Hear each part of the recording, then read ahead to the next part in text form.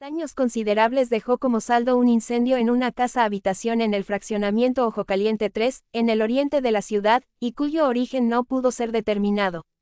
Eran las 11.36 de la mañana horas cuando vecinos de la calle Ocote, en dicha zona habitacional, reportaron a los servicios de emergencia que una vivienda se estaba quemando.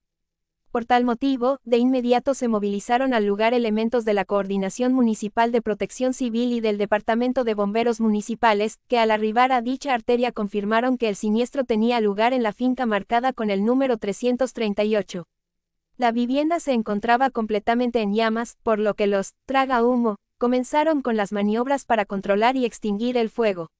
A la par, iniciaron la búsqueda de posibles víctimas en el interior del domicilio, pero no encontraron a ninguna.